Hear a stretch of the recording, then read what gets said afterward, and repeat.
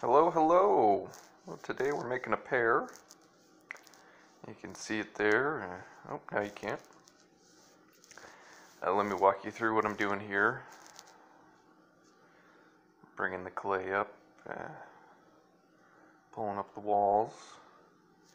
I'm keeping my clay pretty thick for this piece because I'm going to use the metal rib and come back and put in some texture and if I make my walls too thin, I'll just end up going right through with the metal rib. I love using the metal rib on clay. I don't know what it is uh, about that tool, but the, the metal just creates such a nice clean surface on the clay. You know, I've, I've used wood ribs before and whatnot, and they're great for some things, but the metal rib just, well, it's just great, I think. But, uh, anyways, working on the stem there. Trying to get that pear shape.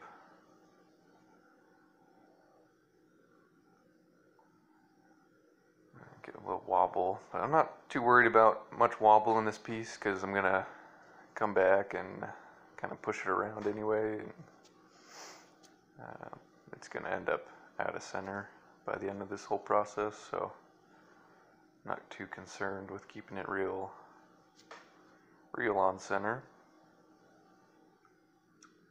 Just getting the slip off there. Uh, these marks I'm making are sort of inspired by, boy, I think they're Impressionist paintings. I'm not really sure.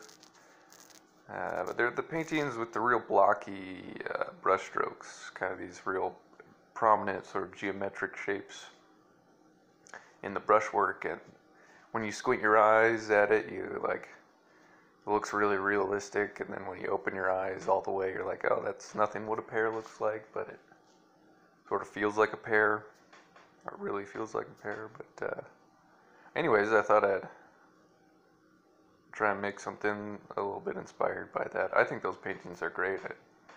I, I love looking at them. Also, these uh, ledges they're created by the by the marks. Uh, are wonderful in a wood fire, uh, probably any atmospheric fire, but in a wood fire, the the ash flows through the kiln depending on the kiln design. It'll go from the fire itself through the kiln uh, and out the chimney, but as it as it flows through the kiln, it sort of brushes up against all the pots, and the pots are collected, and then as uh, as it gets really hot up in the 2,000 degrees Fahrenheit, uh, it'll melt and it'll create all these wonderful colors and textures and different surfaces on the on the pieces. And these ledges sort of help collect the ash as it flows through that it'll you know sort of bump up and then stay there. And so it's sort of a a way to get more ash onto your piece. Uh, and I think they look kind of interesting too as I start working on the piece, I can touch it anywhere I want, you know, and it's pretty easy. But as I as I get towards the end here, I can't really put my other hand on it to stabilize it because I don't want to smudge any of the texture that I've made. But we uh, give it a go anyway. Get through there. Working on the stem there. The stem's out of proportion but uh, I think it looks nice anyway. I like it.